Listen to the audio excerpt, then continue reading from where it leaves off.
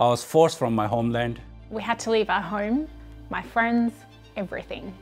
We didn't have a much at the start, but it was still much better than nothing. At home, my parents taught me values of upholding justice and fairness. When I work and I start helping others, it was, for me, it's like life-changing. I studied law because I wanted to make a real difference uh, for people who are marginalised in our society. We have to uh, stay positive, we have to engage in the community, we have to smile for others, we have to cry for others.